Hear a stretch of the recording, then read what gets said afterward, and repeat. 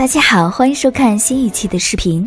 现今旅游的地方越来越多，随着信息流通速度的加快，很多具有独特的旅游特色的地方，一旦被人发现，很快就会变得家喻户晓，从而发展成旅游景点。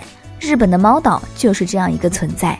日本猫岛真实名为爱媛县青岛，有着许多猫，且岛上的猫比人还多。岛上居民只有二十几个，然而猫却有着一百多只。这与我国山东烟台的兔岛极其相似。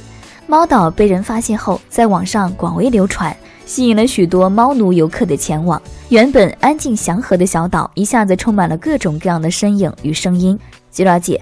爱媛县青岛早年鼠患成灾，当地居民为了防止鼠害，所以养起了猫。怎料随着时间的流逝，猫类繁殖的越来越多，最后竟超过了人口的数量。猫的数量过多，当地居民也就凑合养着。没想到因此吸引了许多游客前来旅游。在日本政府的支持下，如今的爱媛县青岛已发展成了旅游岛，每天都有大批游客前来看猫逗猫。游客的到来，一定程度上增加了当地居民的收入，但游客数量的逐日增加，也让他们感到忧心。游客的到来多多少少都打扰到了他们原本安静平和的日常，吵吵闹闹的生活让他们很不习惯。所以，游客的到来对于他们来说有利也有弊。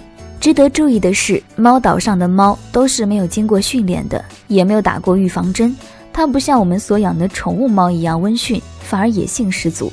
有一定的危险性，游客们在看猫逗猫的过程中一定要多加注意，切勿受伤。